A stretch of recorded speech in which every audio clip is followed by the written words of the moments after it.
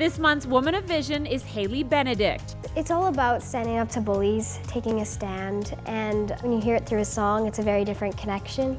You know, if I can help someone bring comfort to someone, or if I can if I can help people, that's kind of my goal. I feel everyone can do anything with any talents that they have for good, and it's no cost to be kind.